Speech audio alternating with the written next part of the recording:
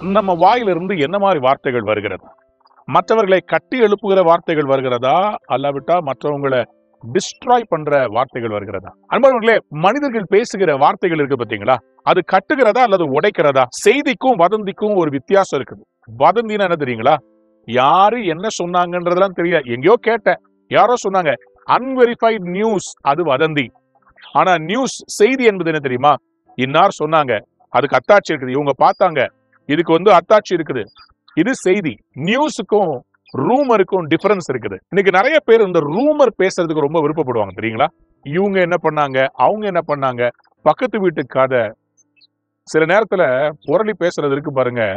இது எல்லா இடத்துலயுமே பயங்கர டேமேஜிங்கானதுங்க வதந்திகளால சில பெரிய பெரிய கம்பெனிஸ் எல்லாம் வந்து விழுந்திருக்குதுங்க.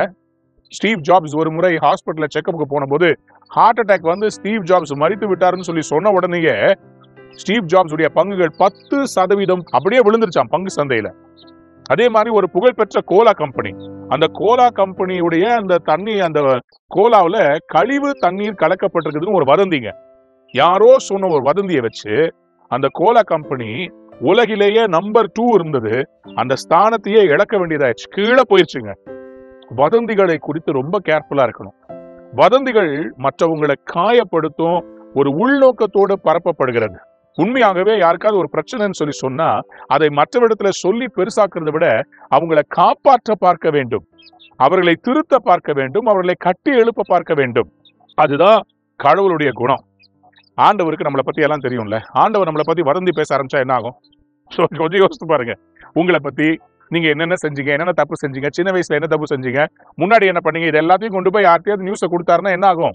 மற்றவங்களுடைய வாழ்க்கையில் இருக்கிற தவறுகளை சுட்டிக்காட்டி சந்தோஷப்பட்டு வதந்திகளை பரப்பி அவங்கள கீழே தள்ளி.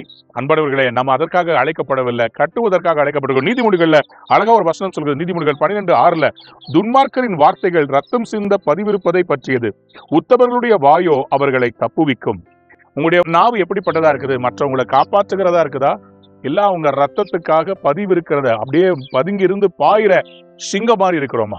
வதந்திகளை விட்டு விடுவோம் யாராவது ஒருத்தர் வாழ்க்கையை பத்தி யாராவது ஒன்று சொன்னாங்கன்னா உடனே கேட்காம ஃபார்வர்ட் பண்ணாதீங்க. வாட்ஸ்அப்பாக இருக்கட்டும் ஃபேஸ்புக்காக இருக்கட்டும் நான் இப்படி கேள்விப்பட்டேன். ஒரு ஊழியக்காரனை பற்றி இதெல்லாம் செய்தியில எல்லாம் சொல்லாதீங்க. வதந்திகளை நம்பவும் வேண்டாம் வதந்திகளை பரப்பவும் வேண்டாம். ஏன்னா கடவுளுக்கு அது பிடிக்காத காரியம். கோள்காரனுடைய வார்த்தைகள் உள்ளத்தை தைக்குமா? இந்த கோல் சொல்றவங்க இருக்கிறாங்க பார்த்தீங்களா வந்து இப்படி பத்த வச்சுட்டு போயிடுவாங்க. அந்த வதந்திகளை நம்பாதீர்கள். உண்மையான செய்திகளை மற்றவர்களுக்கு சொல்லுங்க. யாரை பத்தியாவது கேள்விப்பட்டீங்கன்னா டைரக்டா அந்த நபர்கிட்ட போய் கேளுங்க. எதுக்காக இப்படி நடக்குது? ஏன் இப்படி சொன்னாங்க? இந்த காரியம் இருந்துச்சுன்னா சரி பண்ணிக்கோங்களேன்னு சொல்லி அவங்ககிட்ட பேசலாம். அவங்க வாழ்க்கை மாறும் அவங்க நல்லா இருப்பாங்க. நீங்களும் ஒரு மன திருப்தி கிடைக்கும். அன்பானவர்களே இந்த நாளில ஒரு புதிய நாள் brand new day latest build people and in turn be built கடவுள் ஏன் கடவுளா இருக்காரு தெரியுமா? அவர் வதந்தி பேசுறதுல பிசாஸ் ஏன் பிசாசா இருக்காரு தெரியுமா? அவன் வதந்தியை பேசுறவன். ரெண்டு பேருக்கு இதான் டிஃபரன்ஸ் அவர் நம்மளுடைய தப்புகளை எல்லாம் மன்னிச்சு மறந்து நம்மளை மக்களுக்கு முன்னாடி நீதிமானா பார்க்க விரும்புறார். அவன் நம்மகிட்ட இருக்க தப்பெல்லாம் செய்ய வச்சுட்டு அந்த தப்பை மத்த விட்ட போட்டு காமிச்சு நம்ம மானத்தை வாங்கணும்னு பார்க்கலாம் ரெண்டு பேருக்கும் இதுதான் டிஃபரன்ஸ் மனிதர்களுக்குள்ளும் கடவுள் வாசமா இருக்கிறதுக்கு ஒரே அடையாளம் கடவுளுடைய பண்புகளை நாம் பின்பற்றுவோம். பெரிய காரியங்களை கடவுள் இன்னைக்கு உங்க வாழ்க்கையில் செய்வார். God bless you have wonderful day